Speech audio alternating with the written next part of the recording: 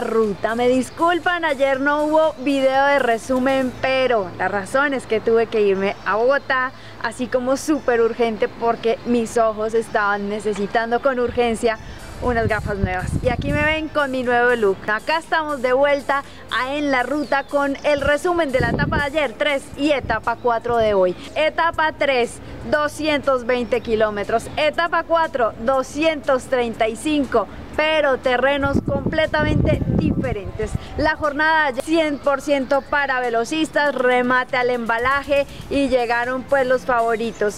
Elia Viviani inicialmente fue el ganador, cruzó la línea de meta primero, pero por una maniobra eh, que no está permitida, que es salirse de la línea en la que el velocista ya viene para rematar. Se abrió muy abruptamente hacia la izquierda y bueno, eso impidió que el corredor del trek que venía atrás eh, pues no tuviera la oportunidad también de embalar afortunadamente no generó una caída porque esto hubiera podido causar realmente daño a los hombres que están disputando el liderato de los puntos donde hubiera provocado un enredón y una caída masiva pues habría sido de lamentar.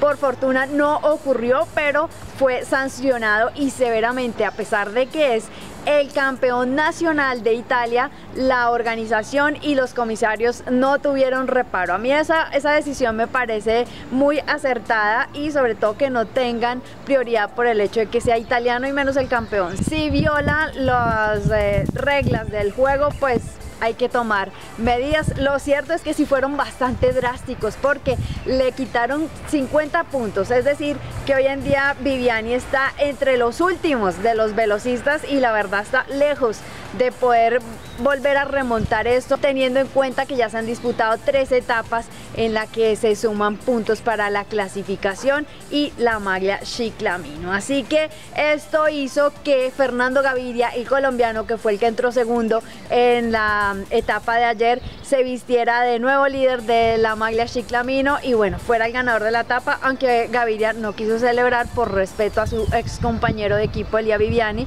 y porque muchos velocistas no sé por qué extrañamente no estuvieron de acuerdo con la decisión, pues fue muy, muy drástico, la verdad. Aparte de eso, tiempo, también eh, hubo sanción económica, o sea, le tiraron con toda. Pero bueno, eso también eh, les sirve a ellos para, para que estén súper pendientes que hay que respetar a los demás corredores y mantener un espacio, sobre todo en, en ese momento que es tan crucial que van a más de 60 kilómetros por hora y bueno, cualquier cosa puede pasar, gracias a Dios no hubo caídas, ninguno se vio implicado. Y fue más que nada el susto del hombre del Trek Mateo Moschetti que, que la supo manejar muy bien porque eh, alcanzó a esquivarse y, y no, no enredarse ahí con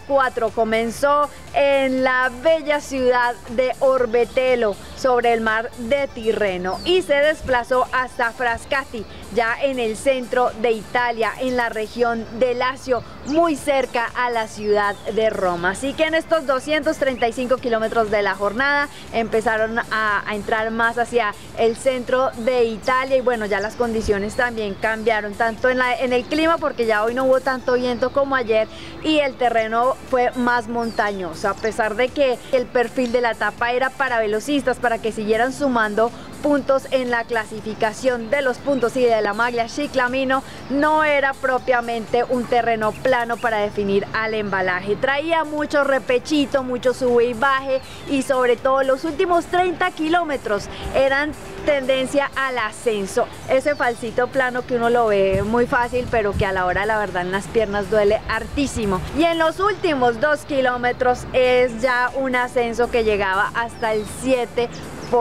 los últimos 250 metros sí eran planos, si querían embalar los velocistas tenían que tener muchísimo power o si no podría ser un escalador que reventara los velocistas y que llegara antes que ellos a rematar, porque si se disputaba el embalaje frente a velocistas, pues le iban a ganar.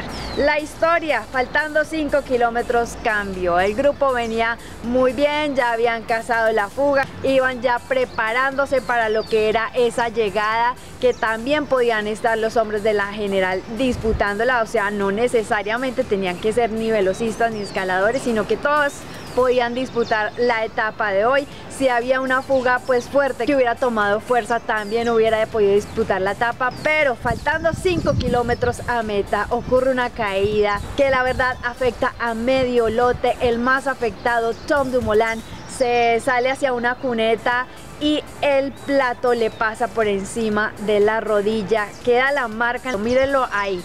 Y aparte de eso, pues eh, toda la, la herida que le produce. Lo cierto es que el corredor quedó muy afectado, pedaleó hasta la línea de meta como pudo, sus compañeros de equipo lo acompañaron, pero perdió 4 minutos 04 con respecto al ganador de la jornada y la distancia con Roglic pues aumentó considerablemente. Recordemos que hasta el día anterior él estaba en el top 5 de la general, en la casilla número 5 a 24 segundos. Ya ahorita pues la historia es otra y aparte es el tema de salud. Hasta el momento en el que estoy grabando este video no sabemos si él va a continuar. En declaraciones dijo que su rodilla estaba muy afectada, que no había fractura ósea, pero sí la parte interna del músculo estaba muy afectada muy inflamado y no sabía si para mañana podía estar en la línea de partida. Así que estamos a la espera del parte oficial y es lamentable, la verdad, lamentable que un corredor que tenía todo el perfil para dar la guerra frente a Roglic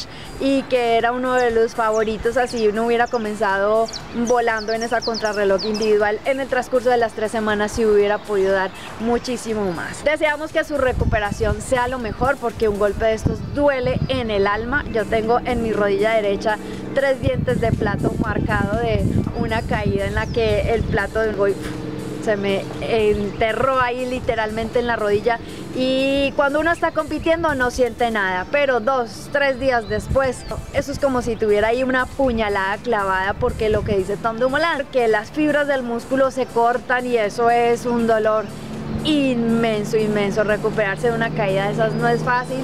Y yo la verdad veo difícil que mañana Tom Dumoulin tome la partida, pero pues estos, estos hombres son de hierro Vamos a ver qué pasa y si se decide más bien por recuperarse y enfocarse en el Tour de Francia, que también es su segundo objetivo de año. Y bueno, capaz que quede como con la espinita de Giro y salga más motivado para disputar el Tour. La clasificación también se vio afectada en el resto de los hombres que estaban en la general porque Roglic logró salir ileso de esa caída y montarse en esa grupeta de ocho hombres que aprovecharon el momento y se lanzaron por la tapa. Iban velocistas fuertes, iba Caleb Iwan, estaba Ackerman el alemán, también estaba Dimerck del FDJ.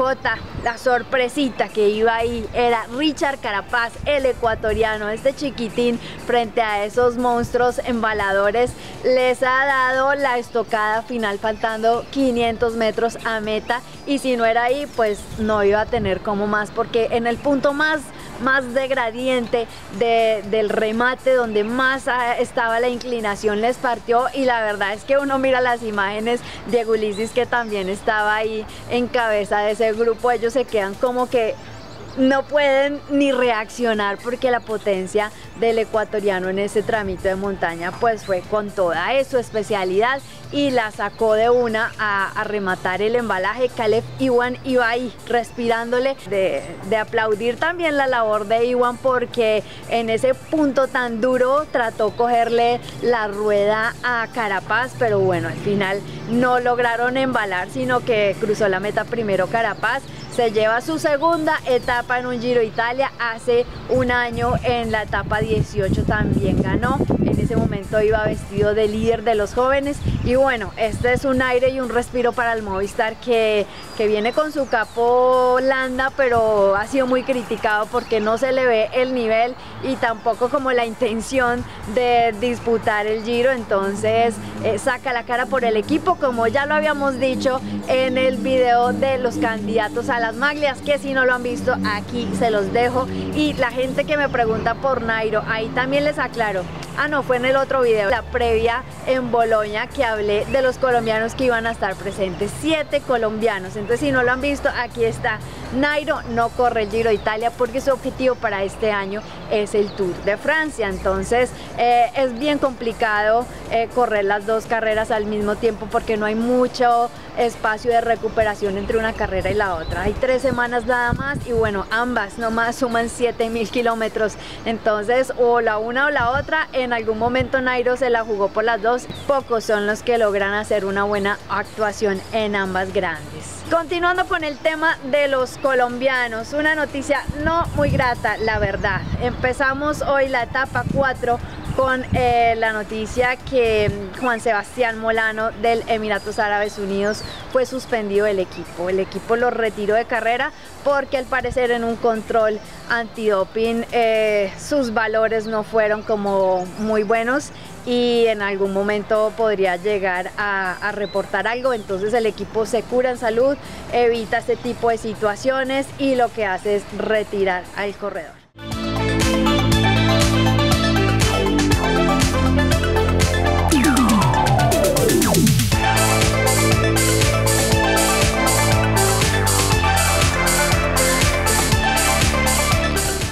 General entonces ha sufrido cambios eh, considerables. El líder, Primo Roglic, sacó ventaja considerable en segundos súper valiosos con sus demás rivales. Miguel Ángel López se vio ahí afectado en la caída y llegó a 18 segundos en el grupo persecutor. También iba en ese grupo Esteban Chávez y aunque perdió tiempo en la general, subió 6 casillas, del puesto número 20 a la casilla número 14. Ahora se encuentra a 1 minuto 16 de Primo Roglic. Es el segundo mejor colombiano y Fernando Gaviria, que ayer era el líder de la maglia Chiclamino, también se vio afectado en esa caída, llegó a más de dos minutos de Carapaz y el que punteó para la clasificación fue el alemán Pascal Acker y vuelve otra vez a vestirse de líder. Igual mañana hay revancha porque mañana por fin será una etapa cortica, 140 kilómetros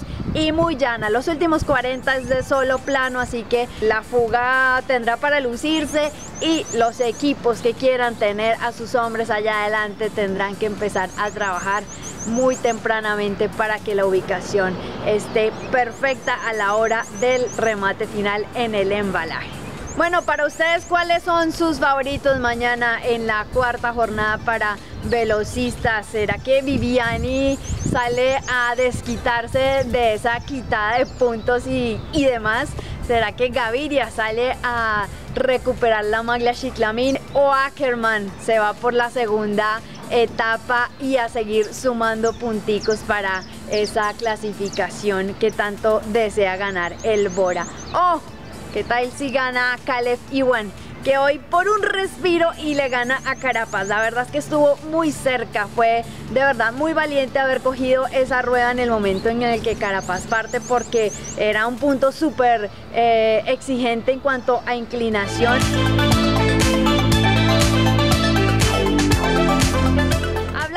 Caleb Iwan, ustedes sabían que en Colombia se consiguen las bicicletas en las que corre el equipo El Lotto Soudal. La versión profesional obviamente es para el equipo belga, pero la versión para aficionados amateur también la encuentran aquí en Colombia en un sitio hermosísimo que se llama Tempo Cycling. Está ubicado en Bogotá en la zona de galerías. Les las redes sociales para que encuentren la ubicación.